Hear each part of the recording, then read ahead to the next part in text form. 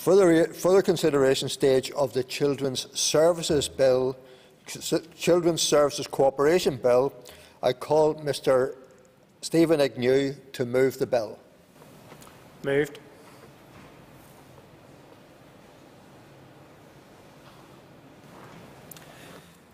Members will have a copy of the marshal list of amendments detailing the order for consideration. Amendments have been grouped for debate in provisional grouping uh, of amendments selected list. There is a single group of amendments for debate. The debate will be on amendments 1 to 6, dealing with children's well-being, reporting and cooperation. I would remind members intending to speak that during the debate they shall address all of the amendments on which they wish to comment. Once the debate is completed, any further amendments in the group will be moved formally as we go through the bill, and the question on each will be put without further, further delay. If that is clear, we shall proceed. We now come to debate with Amendment 1. It will be convenient to debate Amendments 2 to 6. The amendments deal with the definition of children's well-being, the deadline for the first report on the bill, the impact of a report under this bill on the programme for government, guidance and regulations relating to Clause 4, and the definition of child. I call Mr Chris Lyttle to move Amendment 1 to address the other amendments in the group. Thank you, Principal Deputy Speaker. Uh, I'm glad to rise on behalf of the Alliance Party uh, to give our continued support uh, to the Children's Services Cooperation Bill. Uh, it is a long-standing manifesto commitment uh, of ours to support legislation that introduces a statutory duty uh, on government departments to cooperate and collaborate and indeed improved cooperation is needed on many issues, but particularly encouraging to see that being brought forward by the proposer in relation to the planning, implementation and monitoring of children's services. I'm glad that that uh, bill will include statutory duty to cooperate. It will also uh, uh, cover the pooling of budgets and indeed uh, enhance reporting mechanisms. Mr Principal Deputy Speaker, it was regrettable uh, that having uh, given co some considerable work in relation to the bill uh, from OFM DFM officials uh, that there wasn't uh, ministers available to bring forward uh, amended draft of the bill at previous uh, consideration stage. Um, I have made my views known in relation to that, uh, and it's regrettable that it, it required the proposer uh, to take initiative uh, to do so himself, but I, I, welcome the initiative that has been shown in that regard. That was the, the first stage that we were able to see uh, the new high-level outcomes to be monitored and achieved as part of the bill, uh, the physical and mental health, enjoyment of play and leisure, learning and achievement, living in safety, economic and environmental well-being, enablement to make a positive contribution to society and living in a society that respects the rights of children and young people. Um, it, as I said, it was the first stage at which those new high-level outcomes uh, were redrafted in that form. They're all issues that I have worked on as an Assembly member uh, with the proposer, Steven Agnew, on the all-party group on children and young people. Uh, and it has been a pleasure to work closely with the children's sector on those issues. In the time between uh, consideration stage and further consideration stage, I thought it prudent uh, to make the proposed amendment number one, uh, which will add living in a society which, in which equality of opportunity and good relations are promoted, uh, to that important list of high-level outcomes uh, for the well-being of children and young people. Uh, I think uh, whilst it wasn't ideal in terms of process uh, to bring the amendment at that particular stage. I have referred to the mitigating circumstances uh, that required it to be done so at that stage, and I think uh, whilst the process might not have been ideal, that the proposed amendment is consistent with the high-level outcomes being brought forward uh, and the substance of the amendment, that of seeking to ensure our children and young people are able to live in a fair, shared and prosperous society is reasonable, is good, and is a good aim for us to have for our children and young people. And I look forward to hearing the contribution of other parties. I'd be glad to respond uh, to those. In terms of amendment number two, uh, the proposal to have uh, the executive report on the operation of this bill not more than 18 months after adoption of the children's strategy rather than three years. I'm content uh, to support that proposed amendment and indeed did so at, at committee stage around that issue. Uh, in terms of Amendment 3, um, again content to support uh, that the report on the operation of the statutory duty and other provisions introduced by the Children's Services and Cooperation Bill uh, be considered in the production of a programme for government. Uh, I understand that there has been agreement uh, between the proposer and the Minister of Finance and Personnel in relation to Amendment 4 and 5, and I'll be content to support that approach as well, and indeed content uh, to support Amendment number 6. In conclusion, Mr Principal Deputy Speaker, I think it's absolutely essential that the Assembly require the Executive to coordinate services and to maximise resources as effectively as possible, particularly on behalf of children and young people in our community, to ensure that we do deliver improved outcomes uh, across the board for our children and young people in our society. Thank you. Call Mr Chris Hazzard. I too welcome the opportunity to speak at the, this stage uh, of the bill. Uh, it is positive to see, I think, uh, support from all sides of the House today uh, on the progress and, of course, the amendments uh, that we're, we're, dealing with uh, in front of us. I suppose in kicking off first with Amendment 3, on behalf of my colleague Megan Fearon, who cannot be here today to move this, um, I think Amendment 3 perhaps makes explicit what uh, we already know is implicit in, in what we are dealing with, uh, and that is to put on the face of the bill the importance of reporting, uh, but not for reporting's sake, uh, and that when executives do go forward to put together a programme of government, they, they, learn from the lessons of such reporting, and that when we tackle issues of child poverty, when we tackle issues of gaps in mental health provision, uh, of where maybe co-design between departments isn't what it should be, uh, that we have the lessons and we have the record to go on. So I think it's very important. I, I, I welcome, um, certainly already, the, the Alliance Party um, agreeing to, to go with it today. And as I say, agreement from all sides of the House uh, will be very welcome when we are dealing with it. I think to deal with Amendment 1, firstly, I think sometimes it's important that we don't conflate the issues of equality of opportunity and good relations, but I think it adds something to this bill to have this amendment in it. And I'd be more than happy again to, to, to go with it today. Um, again, I think it's positive that with Amendment 2, for the first report and the initial report anyway, uh, that we do reduce that time period from three years to 18 months um, and three years after that going forward. You know, I think that is a positive, uh, we said that the last time. Um, I understand there is an agreement between the proposer are the Mr Agnew and DFP around Amendments 4 and 5. Uh, I think Amendment 5 does provide the guidance and the framework uh, which is necessary um, if we are to look at pulling of uh, resources and uh, better use of funds. I think it's appropriate guidelines around accounting and governance and accountability will be important. Uh, so I think that I think that is valuable. Just finally, on, with Amendment 6, uh, I think it's only right that we do extend um, the definition of children and young people to cover an additional category for those young persons um, who an authority may have to provide services for. Uh, so on the whole, uh, more or less uh, content um, for the amendments to be made here today. I think it, they all do a bit, a bit, of tidying up and strengthening of the bill as it was the last time. Um, again, I would call on those to support our own amendment, Amendment 3, um, and look forward to hear whatever it has to say. Call Mr Alex Attwood. Uh, thank you, Mr Deputy Speaker. And um, could I confirm that from our point of view, we'll be supporting Amendments 1, 2, 3, 5 and 6 respectively, um, subject to the questions that I have to ask, uh, in respect of which I anticipate getting satisfactory answers. Uh, could I first of all again acknowledge the work of uh, Mr Agnew and the Bills Office? Um, Mr Agnew can be uh, rightly uh, pleased and should be properly acknowledged that he's now within touching distance of another private member's bill being passed in this chamber.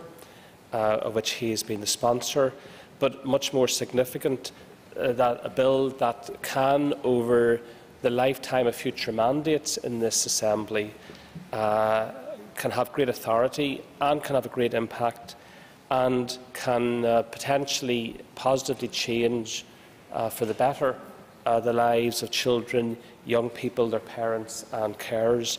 And that's no mean achievement and that's no mean success uh, by Mr Agnew and those outside this chamber who have argued for this approach, uh, especially in the, uh, in the children's sector. Could I deal uh, briefly, Mr Deputy Speaker, with the amendments? Um, and as I say, we're, we uh, will be, or we are inclined to support Amendment uh, 1. Uh, this is from the Alliance Party in respect of equality of opportunity and good relations. And the SDLP, as a matter of principle, uh, believes that those standards should be some of the standards that inform uh, legislation uh, as it goes through this chamber and as it is then implemented. But I would ask Mr Lyttle to confirm to the House that uh, by adding uh, clause H uh, uh at uh, uh, line 11 um, of the bill as it's currently drafted, that it doesn't end up reconfiguring the balance within that clause. Because clause 1.2 uh, which defines the well-being of children and young persons, has been carefully drafted in the past. It has been reworked, Mr uh, Deputy Speaker. It does borrow from international best practice and the UN Convention on the Rights of the Child, and therefore it has as its concentration, as attention, um, those standards uh, necessary for uh, our own domestic law in order to achieve fully informed by international law. And whilst the SDLP would very strongly support the sentiments of equality of opportunity and good relations for the reasons that outlined, uh, I don't want to create, and I'm sure Mr Lyttle doesn't plan to create, a tension within the legislation between uh, clause 2, A, B, C, D, E, F and G and uh, the wider issue then of equality of opportunity and good relations. Um, uh, there, there, can't be a hierarchy within that uh, list. There has to be an integration within that list if the purpose of the bill to be, is to be achieved. And if there is now to be a further subclause, uh, I just seek reassurance from Mr Lyttle that there is no tension within the body of the bill as it would then be amended, um, and that the, the right assessments will fall to government departments in order to live up to the various sub-clauses in a way that doesn't somehow or other um, uh, create some tension that is hard to manage. And I look forward to Mr Lyttle's uh, reply to that matter, and I'm sure I'll be satisfied on the far side of his reply. In relation, Mr Deputy Speaker, to Amendment 2, uh, leave out three years and insert 18 months. Um, I think a number of people, certainly, if I recall properly, I might have made this point at consideration stage, that the early life of uh, this Act and how it is or is not shaped and taken forward by government departments is going to be absolutely critical. Um, the best example, in my view, of a reporting function, if you like, uh, was uh, with the uh, implementation of Patten, which had 175 recommendations and then 675 performance indicators, and those performance indicators were assessed and managed by not just an oversight commissioner but by a panel of experts brought in in order to force home the implementation of Patten uh, not least in the particular circumstances of that time when there was suspension of these institutions. And therefore, this issue of uh, strong, uh, hard accountability uh, is necessary if you're going to try to shape society in a better way, especially a society like ours that in too many ways clings to the past. And therefore, we very much welcome the fact that uh, the uh, reporting period is going to be 18 months.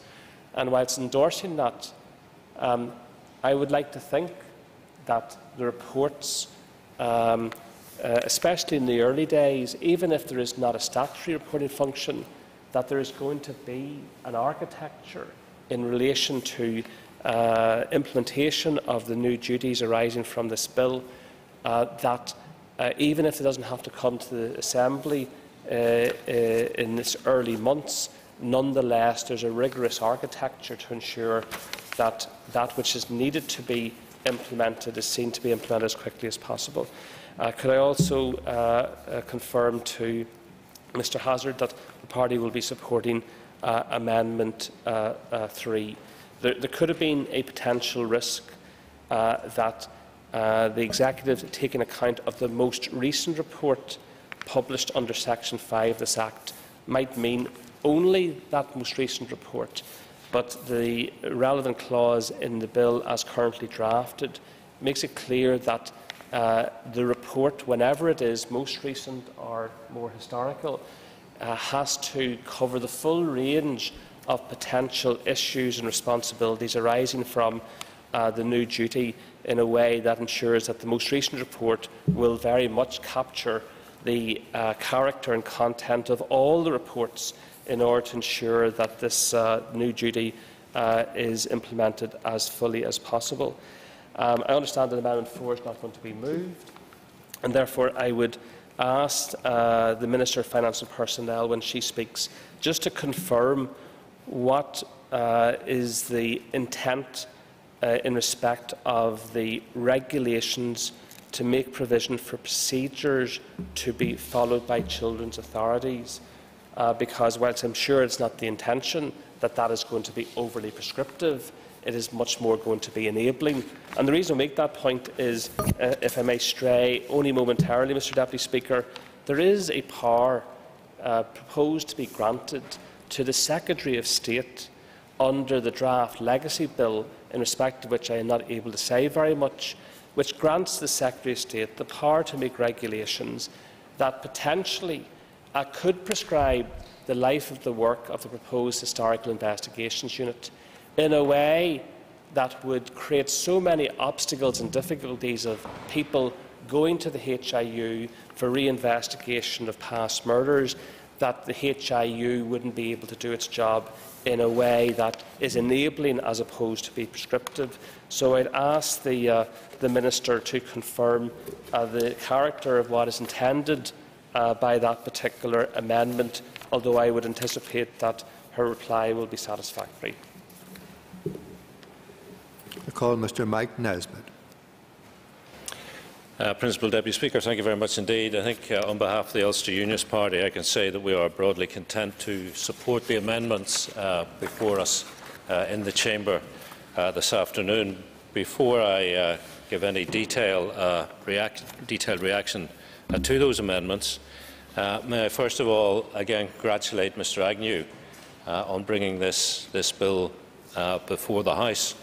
Uh, and our support for it, I think, informs our decision making in terms of the amendment. it seems to me what uh, Mr Agnew is doing is recognising that this government, like many, traditionally operates vertically, sometimes disparagingly called ministers working out of silos uh, and to get a real effect uh, and improvement in delivery uh, of government, we need to go from the vertical uh, to the horizontal, uh, which means cooperation between the executive departments uh, and the agencies associated with them. And also a switch in focus from inputs to embrace outputs and, above all else, outcomes, in this case, for our young people, and I believe Mr Agnew uh, does both uh, in terms uh, of this bill.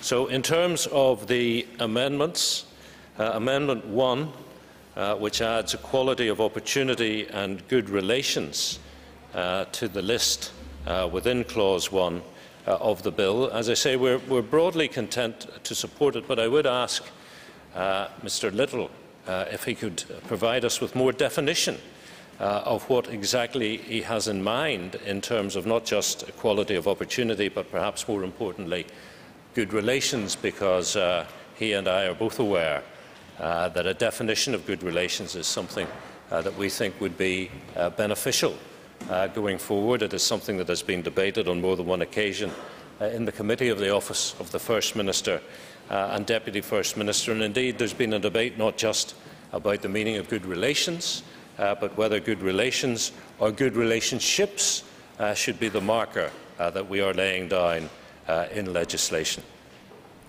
Uh, in terms of Amendment 2, the proposal that the report should come after 18 months rather than three years, we have no difficulty in supporting that principle, Deputy Speaker.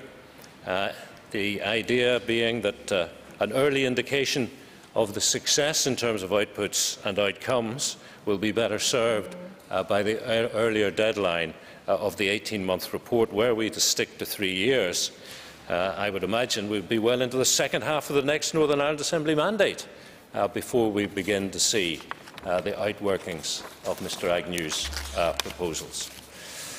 In terms of Amendment 3, uh, as uh, Mr Attwood had said, we, there was a concern uh, that this might be a reference to only the most recent uh, report in terms of uh, the, the, the, the focus that the executive had to bring uh, to this uh, bill in terms of preparing the next programme for government, but we are satisfied uh, that is not the case.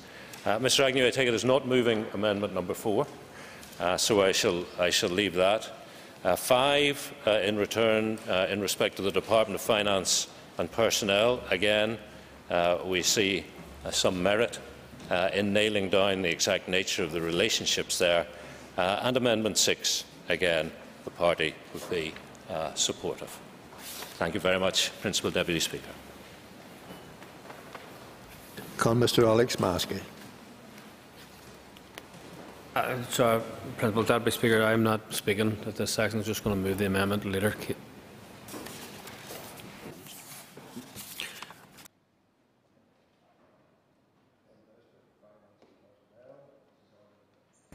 you very much, uh, Principal Deputy Speaker. I'm not going to refer to the other amendments, save for the amendment I moved myself, Amendment number 5, because it's a departmental uh, amendment and I'm speaking as Minister. And I want to say, first of all, at the outset, that I am supportive of the overall aim of the bill, namely the achievement of a coherent and comprehensive service delivery system which is efficient and cost effective and works across government just picking up from Mr Nesbitt's point about silos, vertical as opposed to horizontal, and this will hopefully uh, deal with that issue in relation to children's services. And the new statutory power to share resources and pool funds, for which Clause 4 of the bill provides, is clearly intended uh, to advance the aim of efficiency and cost effectiveness and to eradicate any duplications or gaps with regard to the commissioning of services or the development of work programmes. So the goal of a smarter, more streamlined, better targeted system will, uh, I believe, only be achieved if appropriate operational and governance arrangements are put in place. And those arrangements need not be cumbersome or over-bureaucratic, uh, but they should draw on established best practice and ensure that roles and responsibilities are clearly defined and that there is a consistency of approach. Uh, Principal Deputy Speaker, one might not expect the bill to explicitly refer to operational matters. However, one would expect some indication of how such matters uh, will be addressed, and in this instance, uh, the bill is silent. And during discussions at official level, uh, it has been suggested that such matters could be addressed uh, in the guidance for which Clause 6 provides. However, uh, that guidance will issue from OFM DFM, and although Mr Agnew had sought uh, to amend the bill to ensure that DFP would be uh, consulted around that guidance, I think it would be best uh, if there were a specific regulation making power to allow uh, DFP to ensure that appropriate operational and governance arrangements are put in place. Uh, and I want to thank Mr Agnew for his cooperation and his uh, decision not to move, his indication not to move Amendment 4 and to accept uh, and support Amendment 5. Uh, to Mr Attwood's point uh, in relation uh, to being, he's not here unfortunately, in relation to being prescriptive and referencing other pieces of legislation, I just want to be very clear that we fully in the department support uh, the drive to avoid waste uh, and, and to maximise resources. So it would be very unlikely uh, that we would stand in the way of arrangements that are, that are designed to do uh, just that. Um, we are, however, keen to maintain strong uh, governance arrangements and this amendment uh, we believe will uh, ensure that the legislation is not used to circumvent the executive's role in agreeing public expenditures uh, decision. And at consideration stage, Mr Agnew said the bill was part of the drive towards good governance, uh, and I think this amendment uh, that I have tabled is in keeping with that. Principal Deputy Speaker, it's often said you have to plan uh, for success and a clear operational framework for the handling of resources and the handling of funds will allow us to do just that and I commend this amendment to the House. I call the sponsor of the bill, Mr Steven Agnew. Thank you, Principal Deputy Speaker. And at the outset, I'd like to thank all members for their contributions uh, to today's debate um, but also in terms of their work on this bill. Um, uh, as I've said all along, it's important that a bill that requires government departments to cooperate is in itself um, produced uh, in a cooperative manner, and that has been the case throughout um, between members, the, the, the OFM-DFM committee, OFM-DFM itself and the children's sector, as well indeed as the, the other departments. Um, I, I, welcome the amendments that have been brought forward today and again the, the input um, that, that, that brings to the bill and in terms of getting the, the final details correct before we move to um, uh, final stage. And uh, I, I will speak to each of the amendments briefly um, and refer excuse me, and refer to uh, members' comments uh, on, on the amendments. Amendment 1, uh, proposed by, by Chris Lyttle, um, adding a new high-level duty uh, within the definition of well-being. Um, I think it, it, it's certainly the case that a child's well-being can only be enhanced if we, we live in a society that promotes good relations and, and equality. Um, uh, Mr Attwood, I believe it was, made the point about the, the international nature of the, the, the, outcomes in the original bill and I suppose the local nature of, of this particular amendment. It does reflect our, our local circumstances that, that that's required where in, in other international practice um, a reference to good relations um, may not be, be, be, necessary, but we, we know the specific circumstances of Northern Ireland, and I think the promotion of good relations and equality um, can only be something that, that can help the, the outcomes for children and young people. Um, Mr Hazzard made the point in relation to that that uh, equality and good relations should not be be conflated and um, I, I, I suppose uh, I, I, can see the point that he's trying to make. I think with, within the, they're, they're mentioned in the, the, amendment, they're mentioned as separate entities, and, and neither one um, appears in my reading to take precedence over the other, um, and so I, am content with the amendment in that regard. Um, Mr. Mr. Nesbitt, uh, the chair of the committee, and, and once again I'd like to thank um, him and the committee for their work on this bill. And Mr Nesbitt makes the point about a definition of good relations. Um, and I know this is something ongoing has come up um, with other pieces of legislation. I think in the, the context of the definition of well-being, um, around some of the other high-level duties, uh, we, we, were given advice that the drafting does allow for, I suppose, less, some less precise language um, which is why I suppose they were, were moved from being um, the outcomes in themselves to, to instead being a part of the, the definition of well-being and well-being itself being the outcome, um, so that the legal language was tight. So I think within the, the uh, all-encompassing definition of well-being, um, I think the amendment can sit um, but I, I, agree that progress on the definition of good relations is something um, that, that, the Assembly needs to address um, and, and, and, put right in the future. Um, addressing Amendment 2, my, my own amendment in terms of reducing the uh, report reporting time um, from when the, the bill is introduced. Um, and it does come back, and, and, and credit to Mr Alex Attwood, he did make the point at consideration stage that there was a risk that if a report was not required until three years after royal assent, that it may take two years before anybody starts to really having any urgency or drive around implementation of the bill. Um, my intention with the, the original draft for three years was to ensure a, a, a, balance between operation of the Act and reporting and a need to, to maybe answer some of the questions about um, bureaucracy, um, ensuring that uh, children's authorities' time is spent um, enacting the bill rather than reporting on it.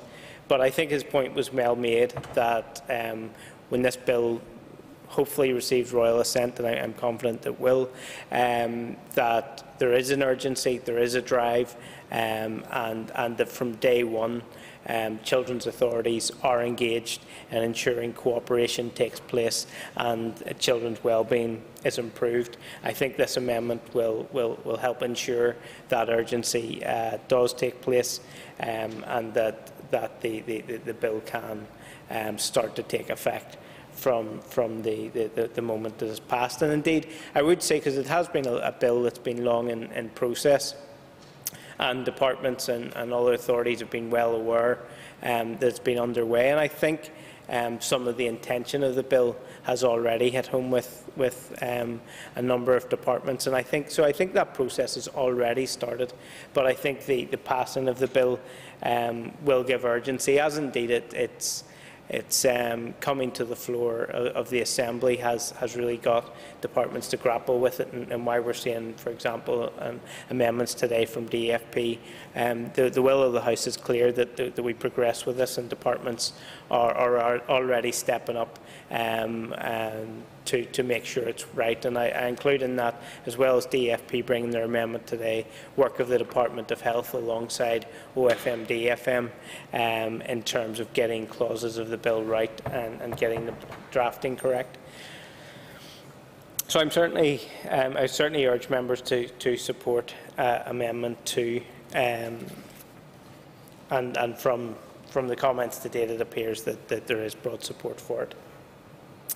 Uh, amendment 3 uh, uh, being, being, put forward today by, by Chris Hazzard and, and, and, being moved by Mr Maskey. Um, well, first of all, I'd like to, to, to wish Megan Fearon well. Um, I, am aware, aware, that she's, she's not unwell. I hope it, or that she is unwell. Sorry, I hope that it's not serious. Um, and indeed, she took the time to, to text me to, to wish me luck with today's debate and apologise for not being here in person to, to move her amendment. Um, so I, I appreciate uh, that she did that and the time that she has taken um, to give consideration to this bill um, throughout. In terms of the amendment itself, I think it's very welcome. Um, it, it, had not occurred to me to, to link the, the, operation of the bill to the programme for government, and I, I do think that adds, a, adds another element um, uh, to ensure that, that cooperative working and, and the children's strategy are at the heart of what government does. Um, so in, in, that regard, I, am very pleased to see the amendment and I thank um, the members for bringing it forward today. Um, and it does, al along with the reporting, um, indeed the, the, feedback in the programme for government, it will give another line of accountability um, for how cooperation is taking place and, and how the efforts to, to remove duplication, uh, end waste and uh, to improve efficiency um, uh, to, to ensure that, that, that, those objectives are achieved.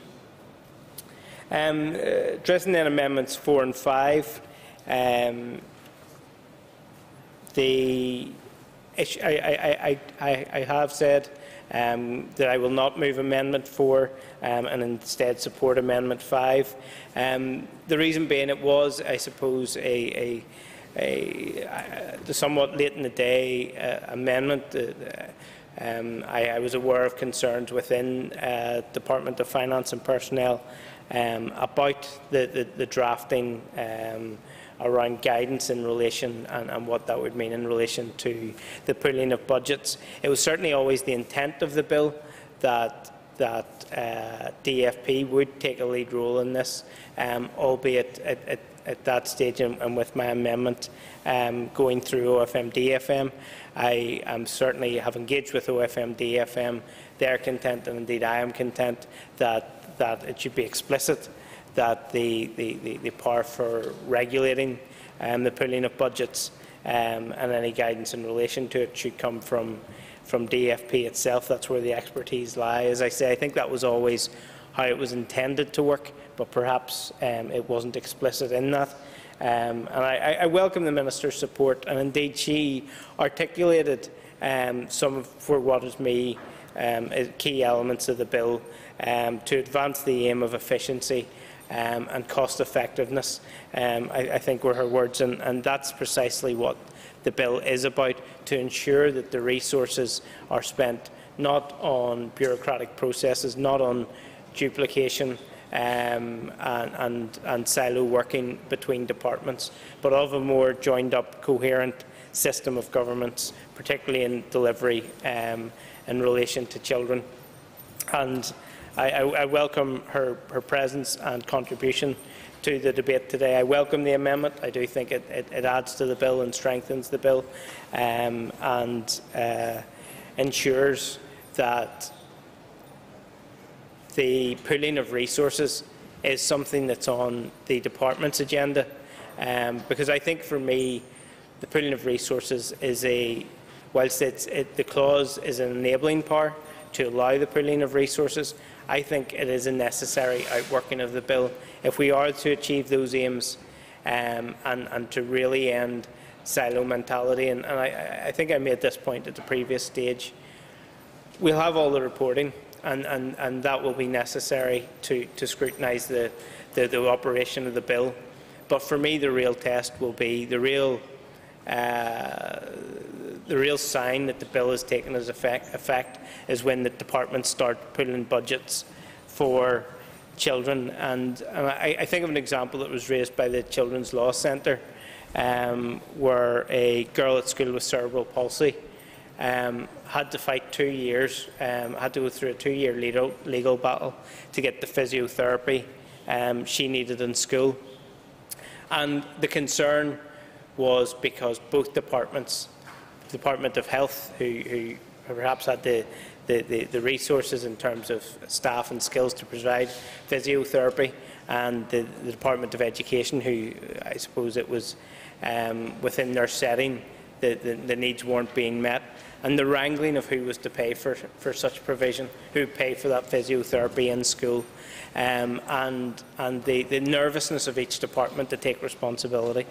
I believe that that's the example where if we had pooling of resources um, in areas such as special education needs, that then the focus would be on ensuring that a child gets the necessary provisions they need to meet their full potential um, and not have, um, and as in that case, a, a two-year legal wrangling to ensure that the, the, the provisions uh, so that a, a, child can meet their full potential, can, can achieve in school um, to ensure that we, we, we don't have those wranglings um, to, to, to make that a challenge and to make that something that has to be fought for. It should happen as a matter of course, and I think the, the pooling of budgets um, will go uh, a long way to resol resolving those types of issues.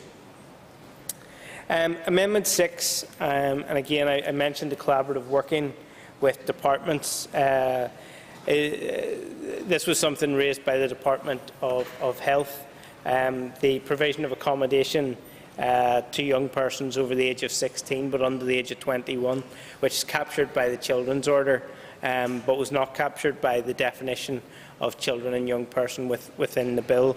Um, so I, again, I thank them for, for bringing this to my attention. Um, the, the uh, legislation which I'd sought to replicate with the bill was that which defined children and young person um, the, in, in ter terms of the role of the Children's Commissioner.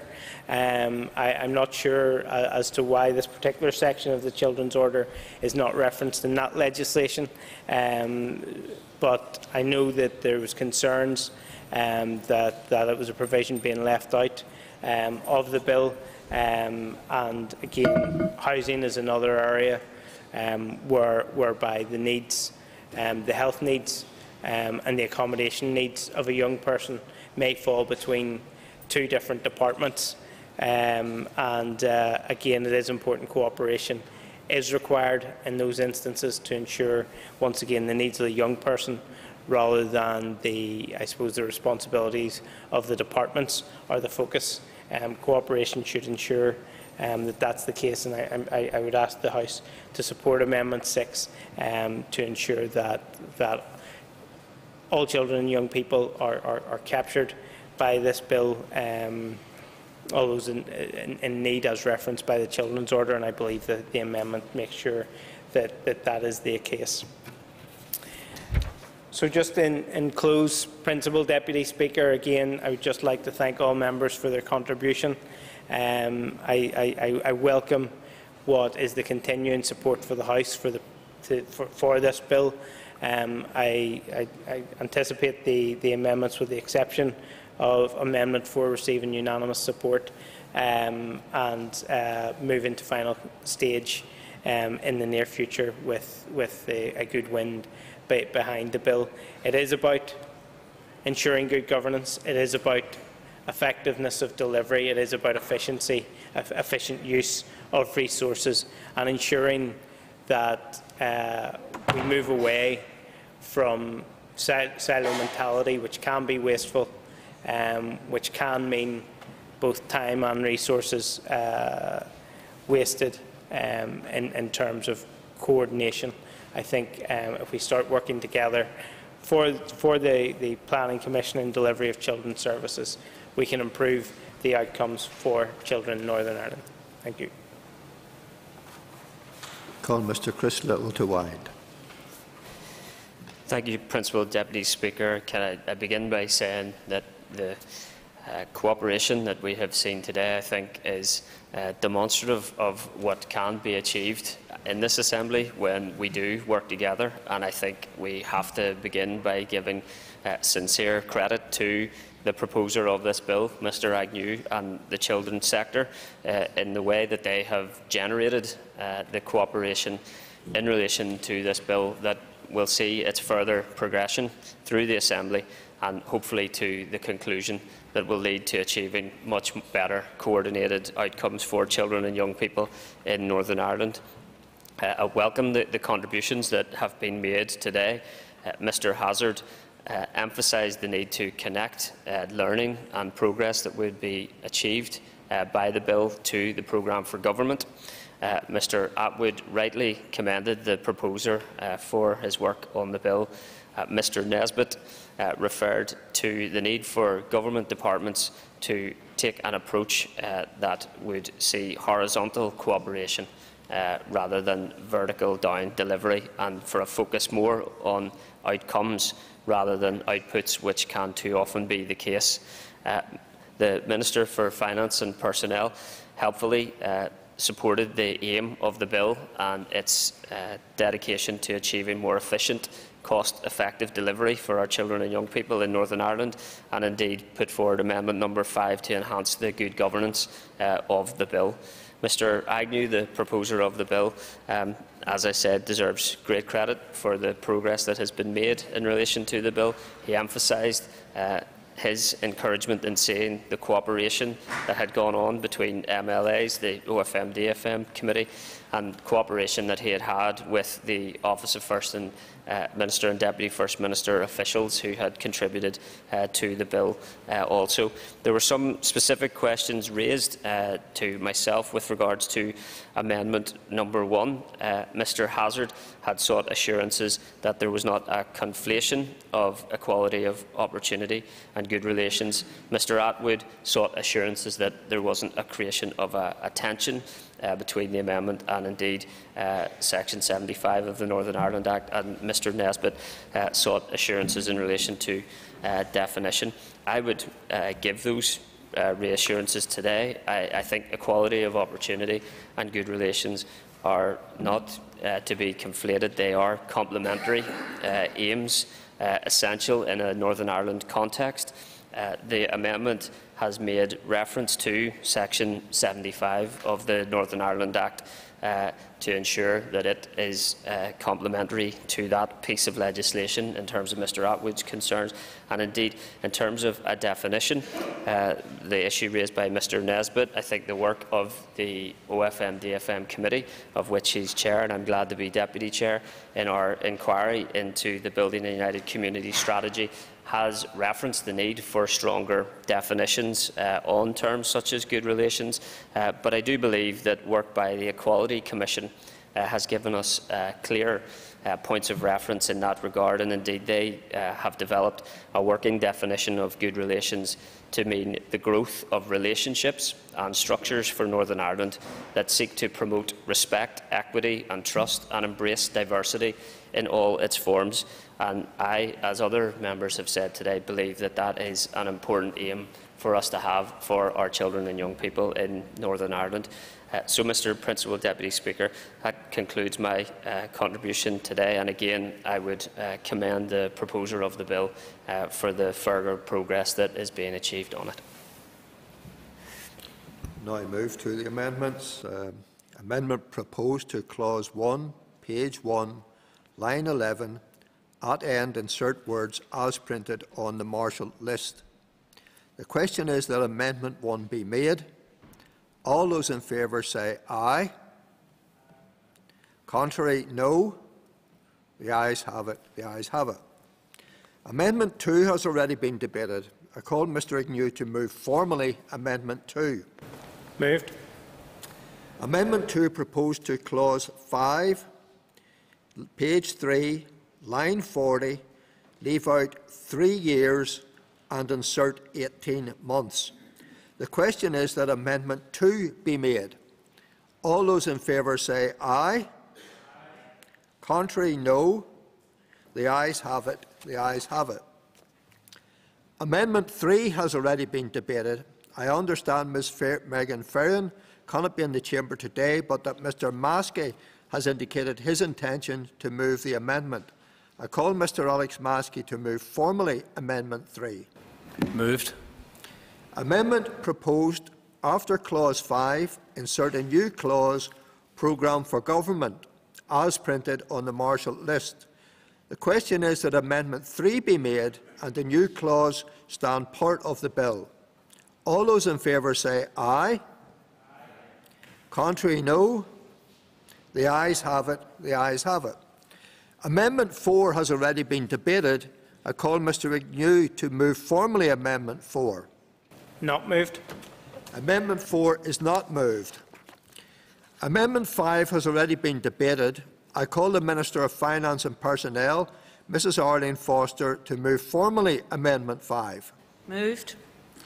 Amendment proposed after Clause 6 insert a new clause, regulations relating to Section 4, as printed on the Marshall list. The question is that Amendment 5 be made and the new clause stand part of the bill. All those in favour say aye. aye. Contrary, no. The ayes have it. The ayes have it. Amendment 6 has already been debated. I call Mr Agnew to move formally Amendment 6. Moved. Amendment proposed to Clause 7, page 5, line 5, insert words, words as printed on the Marshall list. The question is that Amendment 6 be made. All those in favour say aye. aye. Contrary, no. The ayes have it. The ayes have it. That concludes the further consideration stage of the Children's Services Cooperation Bill. The bill stands referred to the Speaker.